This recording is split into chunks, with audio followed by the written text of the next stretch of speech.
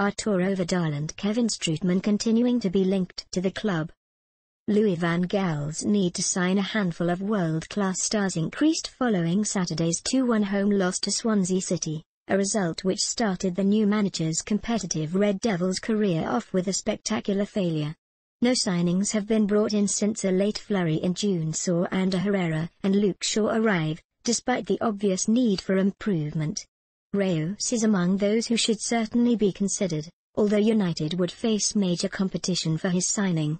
Bayern Munich president Franz Beckenbauer has admitted if he can't lure Reus to the Allianz Arena, the German winger could line up at Old Trafford, per Bild and translated via 101 great goals, I can imagine, Reus, at Bayern very well.